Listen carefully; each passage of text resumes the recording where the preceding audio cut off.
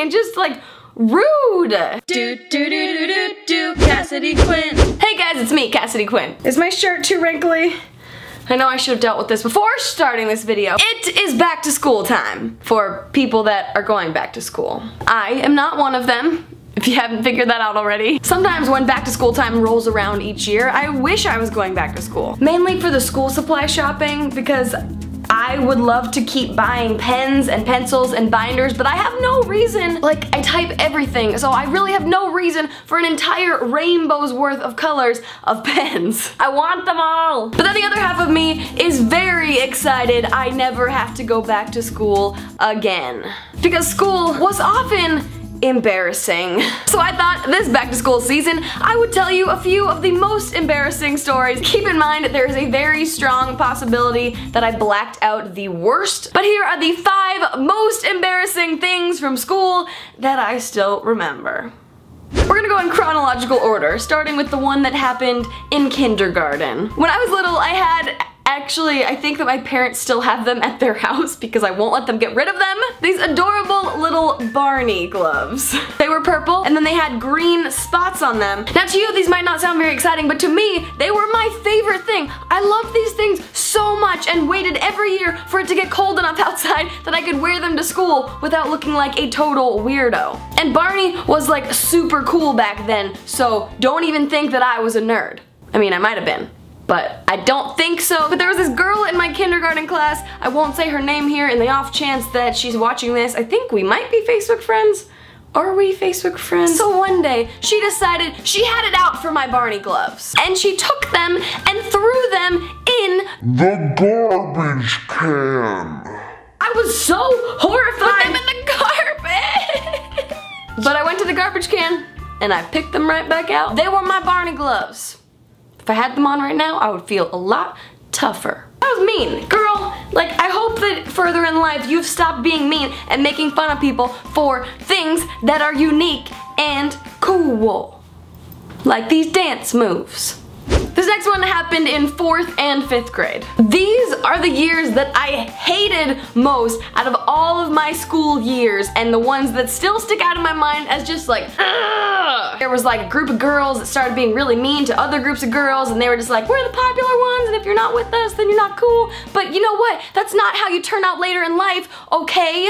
But I had my group of friends, which were like most of the time my friends, sometimes they were just mean to me, including at lunchtime. My mom was wonderful and she always made me a lunch. Also, I should note that I went to a very small Montessori school from kindergarten all the way through 8th grade, and there was no cafeteria or anything, so like if your mom or dad didn't pack you a lunch, you didn't eat. So thanks mom! And my mom would always put in a satsuma. You know those like tiny little oranges that are just, mmm, they're so delicious! Why don't I have those in my apartment right now? Mom, me a lunch! Or at least just a snack. And for some reason, these people that were my friends, like we always sat in a table, in a table, we always sat around the same table at lunchtime, they decided they should steal my satsumas. So every day at lunch, someone would steal it out of my lunchbox, my satsuma would just disappear and I didn't know where it went. They're just like passing it underneath, throwing it, of course it's getting bruised in the process. Eventually I would figure it out and then I would be running around the table trying to get someone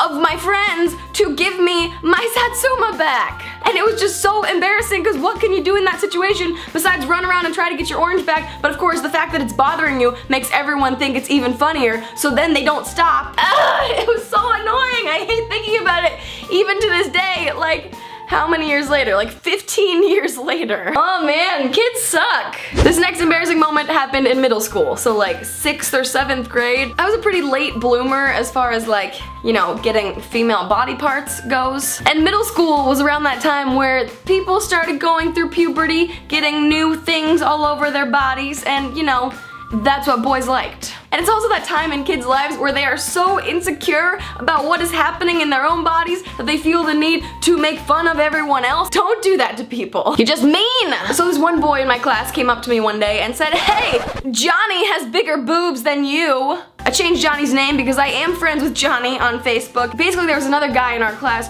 who was a little heavier set and they were saying that he had bigger boobs than I did.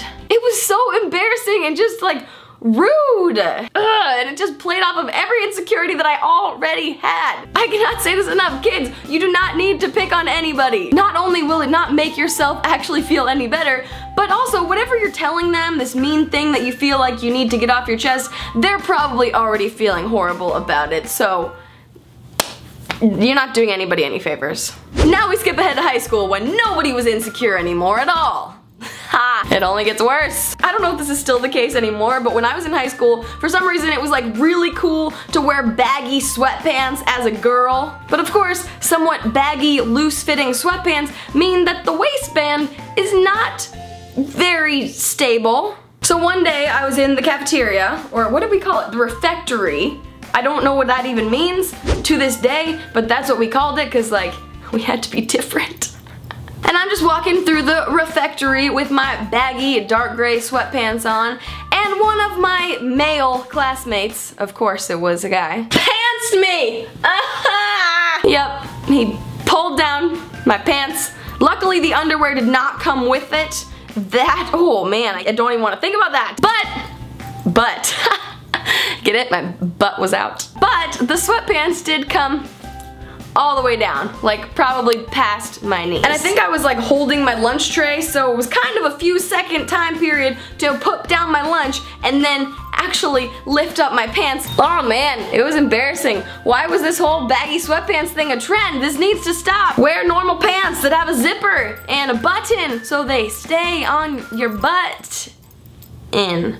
And last but not least, this is another one from high school because high school was just a great time. When I was in middle school, I loved my group of friends so much, but I was not necessarily ever one of the cool girls. So I get to high school, and for some reason, the cool girls wanted to be friends with me. It's really stupid how excited you are when you're a freshman in high school and the cool, pretty girls want to be friends with you, and it's uh, it's so stupid. So one of the like leaders of the cool girl group, her birthday was towards the very beginning of the school year. And I just met her, but I wanted to impress her, so I decided to bring her a birthday present to the back to school dance. So I was like, Mom, I need a present for Larry, Larry, that was a horrible girl's cover-up name. So I was like, Mom, I need a present to bring Macy. So I got her this little kind of miniature purse thing that was see-through and inside it you could see all these little like lip glosses, I think. And I brought it to what was her name again? Macy. I brought it to Macy at the back to school dance. Now at all the school dances, if you had extra stuff like purses or whatever that you didn't want to be carrying around while you were dancing, you could leave it on this counter in the bathroom. But of course,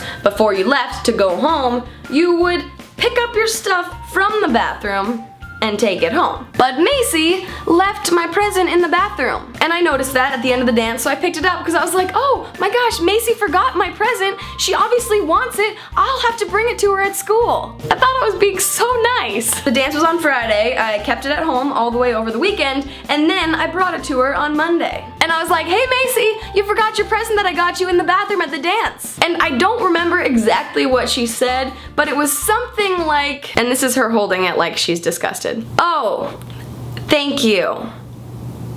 Like very clearly you could see on her face that she wanted nothing to do with this little present. And of course I was giving this back to her in the refectory in front of all kinds of people very sufficiently embarrassing.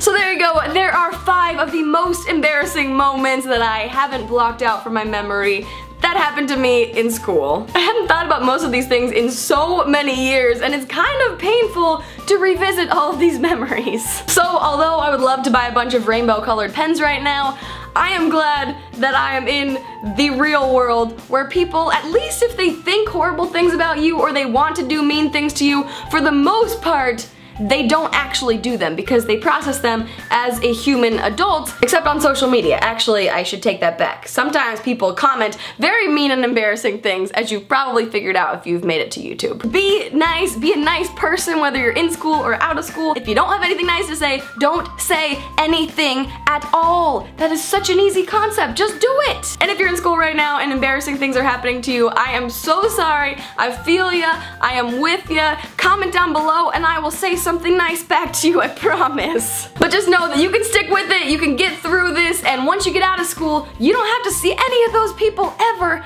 again. Until they awkwardly friend you on Facebook years later and you're like, ha, There's a reason I hadn't friended you yet. Thank you guys for watching. Good luck with the school year, and I will see you next week. Hopefully I won't have any new embarrassing stories to share by then. Bye! Had to check that the microphone's on, because otherwise that would be embarrassing.